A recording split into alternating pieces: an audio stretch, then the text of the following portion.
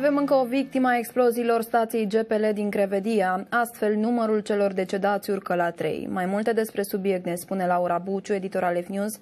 Bine te-am găsit, Laura. Spune-mi uh, cine era pacientul și care era starea lui.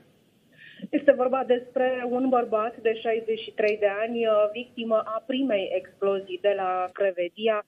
Uh, el avea arsuri pe 90% din suprafața corpului și este Uh, rudă cu ceilalți doi decedați, cu so- bărbatul și femeia, soț și soție, care și-au pierdut viața în urma exploziei uh, de la stația GPL.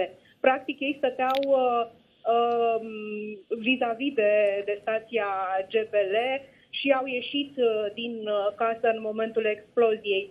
Atunci uh, am avut prima victimă, uh, un bărbat, cel care uh, și-a văzut practic soția Uh, cu arsuri și a făcut infart. A doua zi, duminică, a murit și uh, soția lui, care avea arsuri pe 99% din suprafața corpului și iată că astăzi avem confirmarea celui de-al treilea deces, practic o, o victimă care locuia în aceeași uh, curte cu cei doi. Numărul victimelor se ridică astfel la 3, numărul victimelor decedate și uh, avem și 12 uh, pacienți care au fost deja transferați în uh, străinătate din cauza arsurilor foarte, foarte grave.